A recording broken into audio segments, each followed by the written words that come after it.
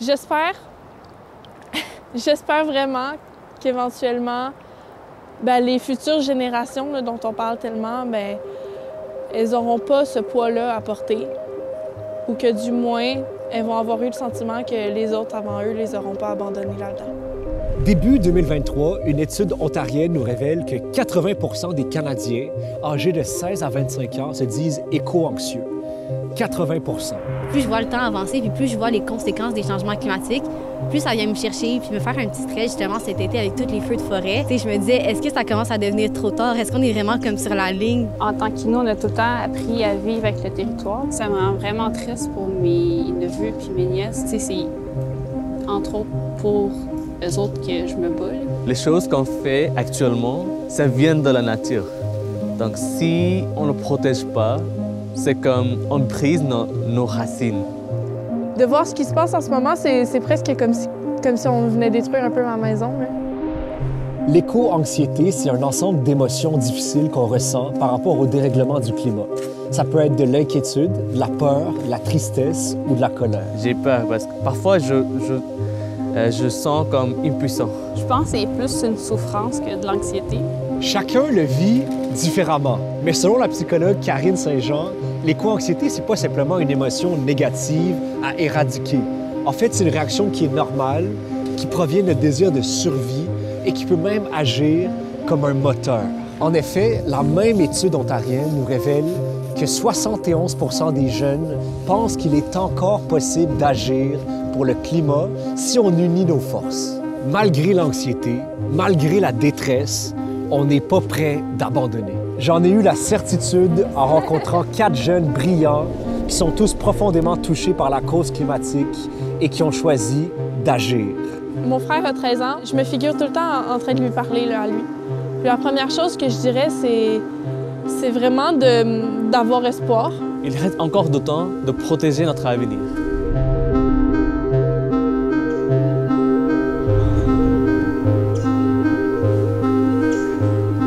Attention ici, il y a un petit seau puis une autre planche. là, il faut passer à droite. J'habite à Sainte-Catherine, dans Jacques-Cartier. Je suis en première session au cégep de Sainte-Foy en sciences lettres et arts. Je suis quelqu'un qui aime beaucoup, beaucoup le plein air, qui aime beaucoup lire, écrire. Pour la petite histoire, ça, c'est mon arbre de naissance. c'est un frêne. Donc, cet arbre-là a 17 ans, comme toi. À peu près à peu près. On voit la différence de taille, hein? ça grandit pas au même rythme. Mais. je viens d'avoir 16 ans aujourd'hui. Euh, je suis une fille très passionnée dans la vie. Euh, je fais de la musique depuis presque 10 ans maintenant, du violon et du piano. Peux-tu me décrire ce qui se passe en ce moment? En ce moment, il y a une première tempête de neige à Sherbrooke. Je suis beaucoup intéressée dans, dans faire des changements dans la vie, ça m'anime beaucoup.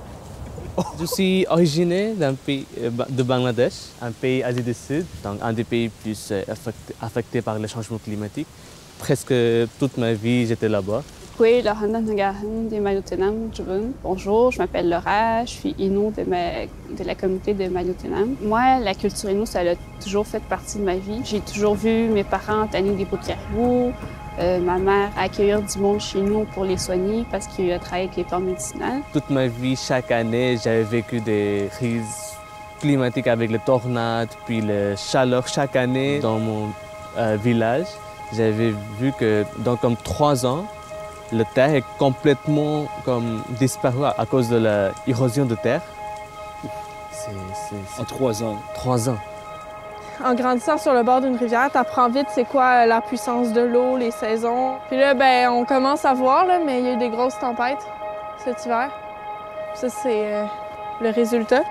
Je pense beaucoup au mot Nitassinan. Nitassinan, ça veut littéralement dire genre notre territoire. Mais on n'avait pas ce mot-là avant. C'est quand on a commencé à négocier avec les gouvernements, on a comme inventé ce mot-là, je dirais, dans les années environ 80. Mais sinon, avant ça, on n'a jamais parlé du territoire comme on l'a jamais mis au possessif. Tu sais, c'est pas quelque chose que tu peux posséder.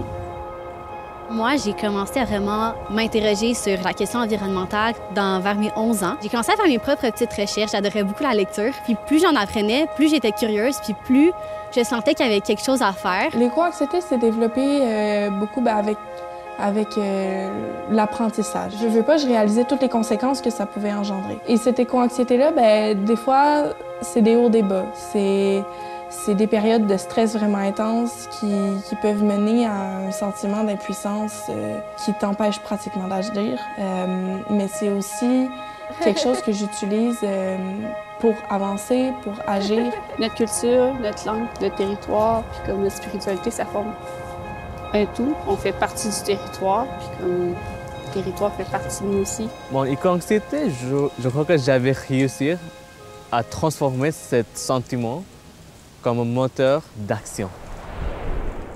Je vous présente aujourd'hui, selon mes recherches, un petit guide pour faire face à l'éco-anxiété. 1. Émotion. Il faut reconnaître les émotions qu'on vit, les identifier, les nommer. Par exemple, ben, je vis de la colère et de l'angoisse par rapport au feu de forêt. Il faut se rappeler que ces émotions sont normales et justifiées. Et ensuite, ben, il faut en discuter, tout simplement. Petite parenthèse sur l'information. Consommer trop d'informations peut engendrer de l'éco-anxiété, surtout quand on reste dans les gros titres, dans l'actualité. Mais d'un autre côté, consommer de l'info pertinente peut faire diminuer l'éco-anxiété. En effet, quand une menace n'est pas bien comprise, elle génère beaucoup d'anxiété. Quand on comprend les principaux mécanismes d'un problème, on comprend aussi où et comment agir.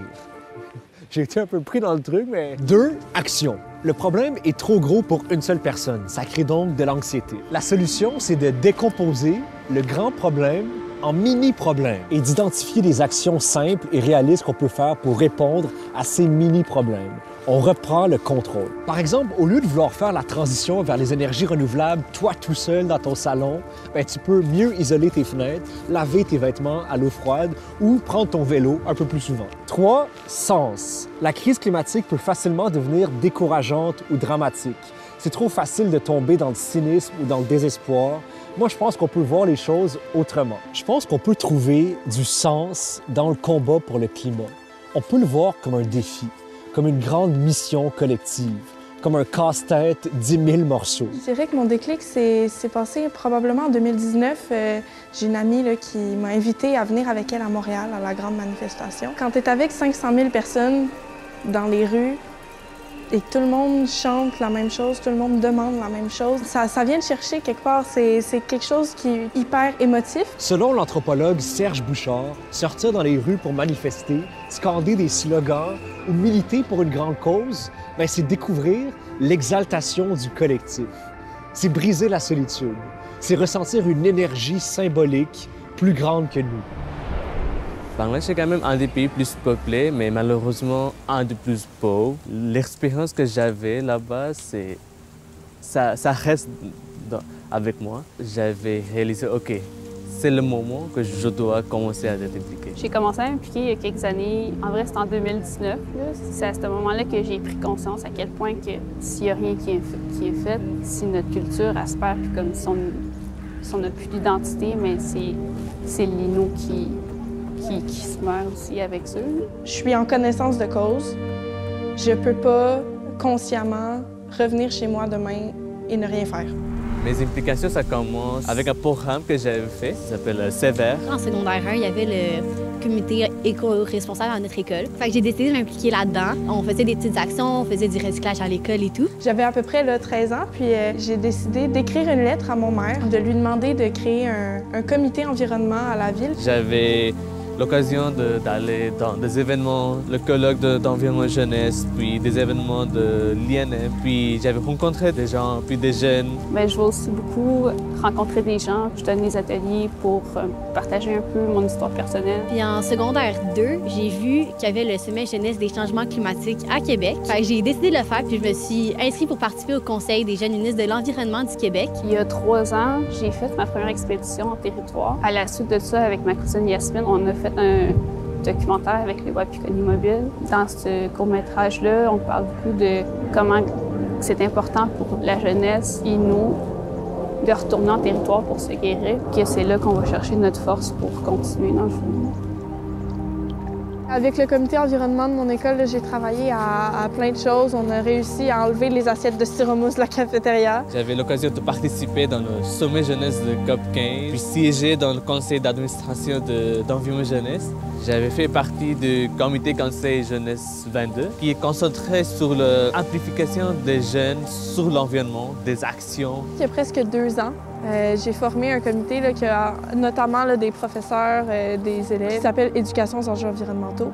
Avec ce comité-là, on voulait euh, obtenir que dans le cursus scolaire, il y ait plus d'éducation aux enjeux environnementaux. Il y a quelques semaines, on a obtenu cette annonce-là du ministre Dreyville qui aurait révision du programme de sciences du primaire et des programmes de sciences euh, du secondaire pour notamment inclure ces enjeux-là dans le programme. C'était une nouvelle folle, honnêtement. D'accomplir cette chose-là après autant de travail, c'est indescriptible comme sentiment. Le nerf de la guerre dans la lutte climatique, c'est l'action collective.